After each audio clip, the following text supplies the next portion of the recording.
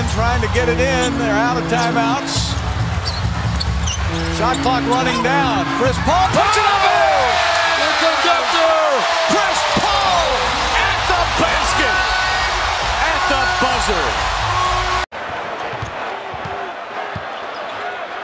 Green on Paul. And he got it! One second left. Clippers by two.